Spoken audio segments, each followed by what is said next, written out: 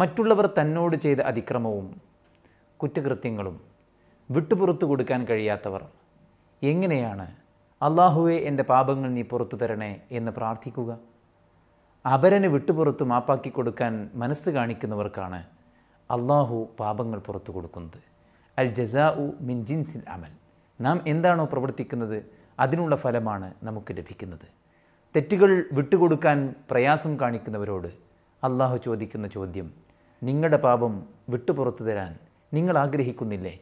എങ്കിൽ മറ്റുള്ളവർക്ക് നിങ്ങൾ വിട്ടുവീഴ്ചയും വിശാലതയും ചെയ്തു കൊടുക്കുവീൻ എന്നാണ്.